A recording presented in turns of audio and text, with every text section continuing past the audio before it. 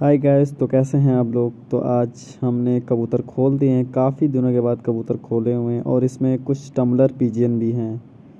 Roller pigeon बोलते हैं। इसकी तादाद अभी बहुत ज़्यादा है हमारे पास और कुछ लॉफ्ट में कबूतर अंडों में बैठे हुए हैं। गाइस ये देख सकते हैं कैसे कलाबाजी कर रहे हैं कबूतर। और गाइस एक साथ तीन चार कले खा जाते हैं, चार पाँच कले खा जाते हैं। इसे टम्बलर पिजन बोलते हैं, रोलर पिजन बोलते हैं गाइस कला, कलाबाज कबूतर भी बोलते हैं। आप देख सकते हैं कैसे कले खा रहे हैं कबूतर। ये देख सकते हैं, ये कैसे कबूतर खा रहे कले, ये देख सकते हैं।